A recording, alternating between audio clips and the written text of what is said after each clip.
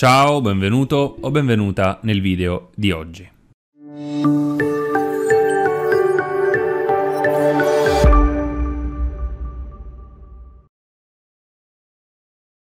Quante ore studiare a settimana? Oggi voglio farti vedere attraverso una presentazione grafica questo che è un argomento che abbiamo trattato altre volte, ma che vorrei approfondire cercando di farti capire anche da un punto di vista grafico e appunto visivo e anche in un certo senso pratico, come dovresti concepire proprio il ragionamento e quindi di conseguenza poter gestire al meglio tutto quello che riguarda le ore durante una settimana per studiare tutto ciò che devi studiare in una tempistica che non ti stressi troppo, che non mette quindi troppo alla prova la tua pazienza. Quindi partiamo proprio dal cercare di capire quante ore devi studiare a settimana. Ora, questo è un grafico, non preoccuparti, non è niente di troppo complesso, te lo spiegherò con la dovuta calma.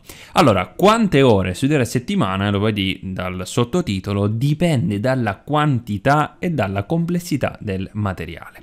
Quindi quando studiamo Dobbiamo ovviamente considerare quante pagine studiare, questo è diciamo l'approccio più classico, però c'è da considerare anche un altro aspetto. Talvolta non è tanto il numero di pagine il problema, ma quanto queste sono complesse. Quindi dobbiamo andare a tenere in considerazione entrambi questi aspetti. Ovviamente studiare un libro abbastanza semplice, con poche pagine, ci ruba, per così dire, molto meno tempo rispetto a un libro che non solo è lungo e inoltre è anche molto complesso. Ora, qual è il quadratino, eh, cosa significa anzi il quadratino che trovi in alto a sinistra? Perché ho scritto un'ora, 5 pagine e soprattutto il tuo ritmo di studio. Ciascuno di noi ha una buona abitudine nello studio, nel senso che con più o meno velocità, riusciamo, prendiamo come esempio un'ora di tempo, a studiare un tot di pagine. Per esempio 5 pagine in un'ora, che sembrano poche, ma in realtà non lo sono. Anzi, tenendo questo ritmo possiamo ottenere degli ottimi risultati. In modo particolare voglio farti capire come inserendo questo ritmo di studio, mantenendo questo ritmo di studio, possiamo andare a prendere appunto questa ora eh, impiegata per studiare 5 pagine e ripeterla all'interno della settimana. Infatti, ti spiego la parte più in basso del, dello schema, ma è semplicissimo. Trovi eh, ogni colonna eh, che è corrispondente ad un giorno della settimana, il primo, il secondo, il terzo, il quarto, il quinto, il sesto, il settimo e non non ho utilizzato i giorni, i, num- i, nomi dei giorni della settimana perché potresti eh, preferire, eh, diciamo, considerare l'inizio non con lunedì ma con un altro giorno, quindi per eliminare qualunque problema di compatibilità, di preferenze, ho preferito proprio indicare primo, secondo, terzo e così via. C'è una linea tratteggiata nel mezzo, che è quella che distingue la mattina e il pomeriggio nello studio. È qualcosa che ti ho detto anche altre volte. Ti consiglio sempre di optare per una divisione delle sessioni di studio, delle ore di studio nel, eh, lungo la giornata. Ovviamente compatibilmente con i tuoi impegni, ma in generale è ottimale riuscire a suddividere appunto le ore eh, che scegli eh, per andare a studiare. Quindi voglio farti capire come puoi, ripetendo questa, eh, lo studio di queste 5 pagine in un'ora di tempo, quindi in sostanza mantenendo questo ritmo di studio, quanto in, in, prospettando un, un'ora di studio al mattino e un'ora di studio al pomeriggio, puoi ottenere in una settimana appunto con questo ritmo. Cosa capiremo alla fine?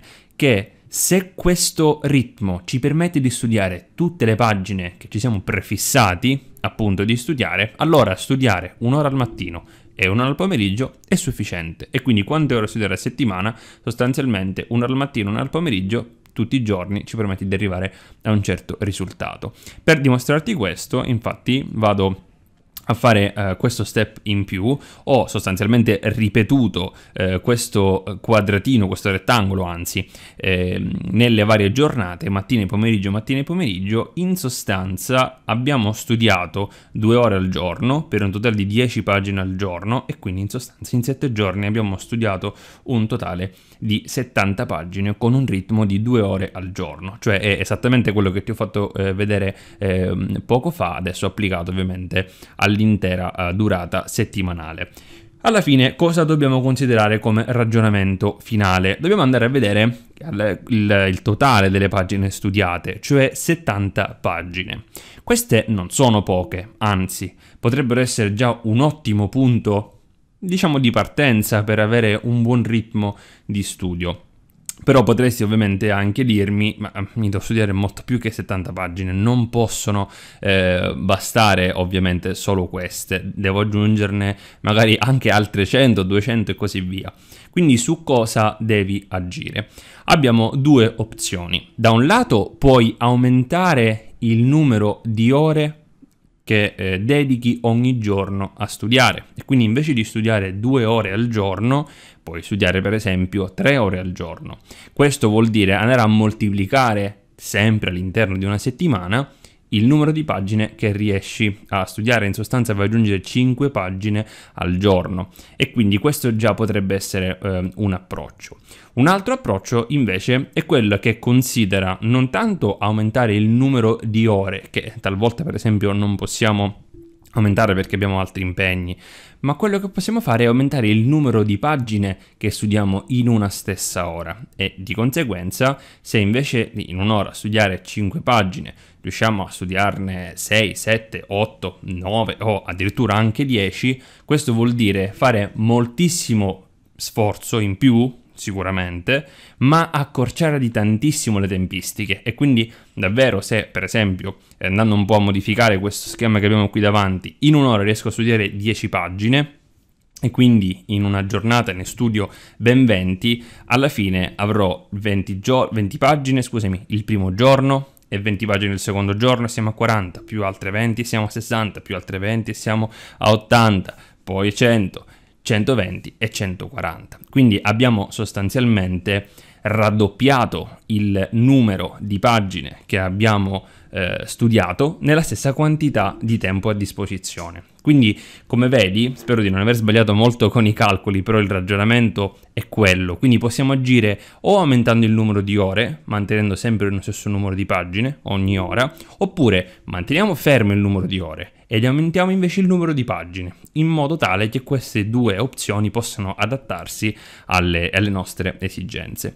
Come vedi, quindi è importante ragionare molto con i numeri e uh, aggiustare tutte queste casistiche anche in funzione di quello che ti dicevo all'inizio, cioè la differenza tra la quantità uh, delle pagine che devi andare a studiare e anche la complessità del materiale, perché potresti tranquillamente eh, mantenere il ritmo di 5 pagine in un'ora e studiare quelle 70 pagine a settimana, poi ripeti questo per le varie settimane fino al giorno dell'esame e senza fare uno sforzo immenso puoi ottenere serenamente i risultati che eh, ti aspetti, i risultati universitari che vorresti. Ovviamente questo è uno degli aspetti importanti per studiare in modo efficace. Se vuoi scoprire anche come puoi andare a utilizzare le tecniche di studio, capire come gestire al meglio non solo la settimana ma anche la singola giornata o in senso ancora più ampio l'intera sessione di studio, l'intero anno accademico, io ho creato un metodo di studio che ho utilizzato in prima persona che voglio proporti, si chiama metodo di QS, non me lo hai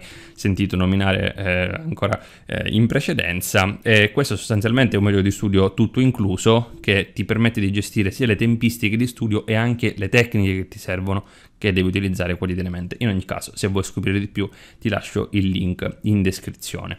E quindi questo era quello che ti volevo proporre oggi per darti anche una, una sorta di supporto grafico e farti capire farti regolare, magari per esempio orientandoci su eh, questo schema che è un po' più vuoto, ma che può essere riempito in funzione delle tue necessità, quindi di come vorresti gestire il, le circostanze che ti trovi ad affrontare in quanto studente o studentessa e quindi eh, fare in modo che tu possa agire in modo personalizzato, in modo specifico. Quindi innanzitutto ti ringrazio per la tua attenzione e per il tempo che mi hai dedicato e ti aspetto con moltissimo piacere nel video che uscirà domani.